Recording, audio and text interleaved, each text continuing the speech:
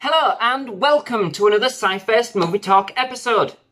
In this episode I will be discussing the 2018 horror flick Slender Man, directed by Sylvain White. So the premise of the film is set around the mysterious legend of the title character Slender Man. So, from reading some of the reviews online prior to seeing this film, it did look like it was getting panned.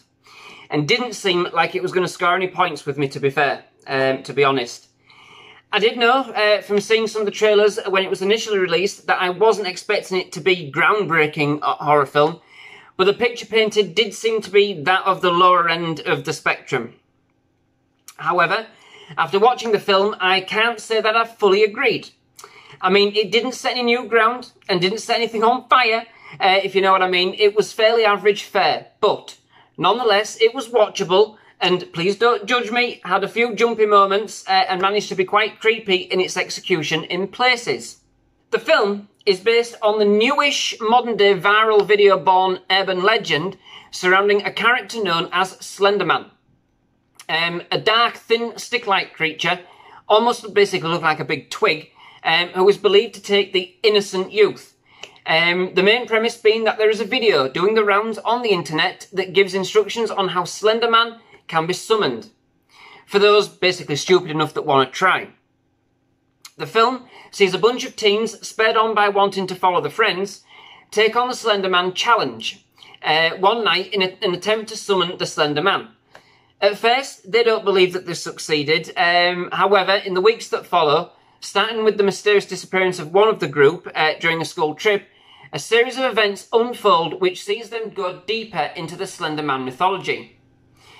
As one by one, uh, the Slender Man starts afflicting the group, uh, we learn that he, once summoned, and I mean, as far as the movie's concerned, as I believe the mythology itself is quite extensive uh, and has many sort of different facets to the Slender Man's mode and motives of operation, it manifests himself in a number of different ways and opts, and nobody knows how the choice is made. Uh, one's seen to either take you or leave you uh, so that it can haunt you and get inside your head uh, in an almost infection-like manner. In this vein, the movie and in fact the urban legend itself borrows elements from others. Uh, from the movie's perspective, this is especially true for the likes of The Ring, for which it pretty much borrows its main premise. Uh, and even films like the Nightmare on Elm Street uh, series, notably for the altered reality and nightmare-like sequences, uh, Candyman, and even, I think, mythology from the Blair Witch for good measure. All this being said, the film wasn't bad. It wasn't awful. It was just average. If you're looking for something to make your skin crawl, then this movie ain't for you. Uh, catering directly to the teen market, the film is not in any way blood and guts galore. There's nothing like that in it at all. The film plot lends itself more to offering uh, suspense and scares via visions and perceptions on altered reality. It was a film that was worth a watch, uh, but don't just expect too much. So that brings me to the end of this episode. Thank you very much for watching. If you like my reviews and general movie discussions, then please do hit that subscribe button. Uh, please leave a like on this video or any others on my channel.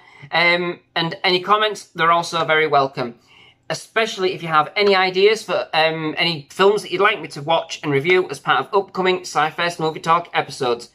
Thank you very much for watching.